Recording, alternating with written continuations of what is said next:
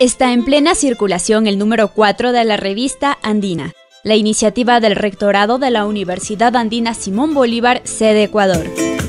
Como una universidad abierta y cuestionadora, la Universidad Andina Simón Bolívar, con el número 4 de la revista Andina, continúa haciendo espacio a voces diversas como testimonio de una academia preocupada por el porvenir. Esta nueva edición de Andina es una experiencia gozosa y sobre todo liberadora, dice el rector de este centro de estudios, César Montaño Galarza. La edición número 4 de la revista Andina la puede leer, disfrutar y descargar sin costo en la sección publicaciones del portal universitario www.uasb.edu.es. La revista nos trae estos títulos.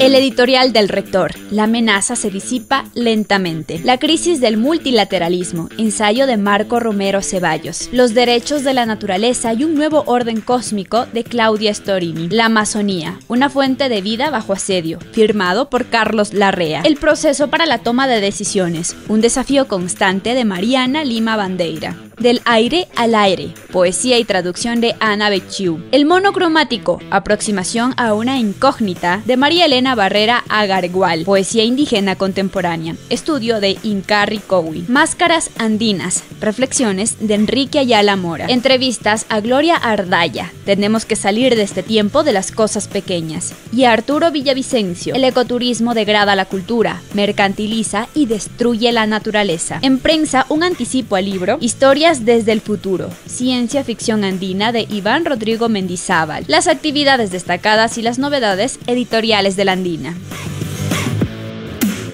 La revista andina número 4 refleja el propósito de la Universidad Andina Simón Bolívar, de ser un proyecto en sí mismo, complejo e inacabado por definición, abierto al pensamiento libre que bulle en aquellos espacios de discusión creadora de conocimiento crítico.